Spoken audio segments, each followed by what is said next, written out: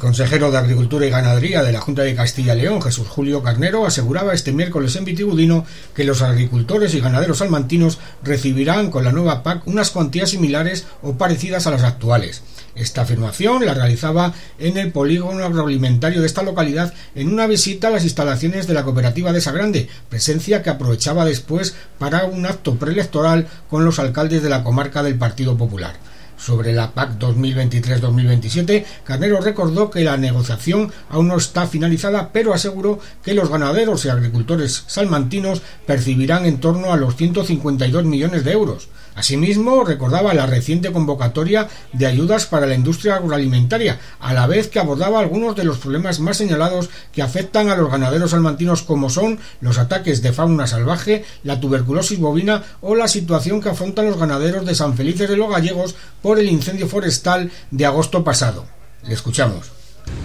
Que hemos hecho una negociación de la PAC que está todavía no acabada, pero sí ya en una fase de conformación importante y podemos decirle a los 8.500 perfectores aquí en la provincia de Salamanca de la PAC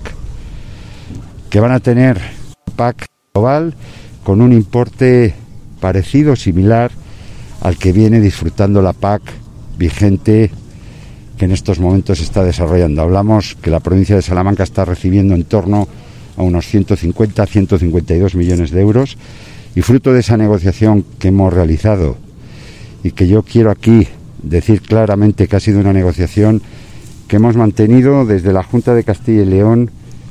pero siempre con un posicionamiento común entre las organizaciones profesionales agrarias, Urcacil, también los grupos políticos en las Cortes,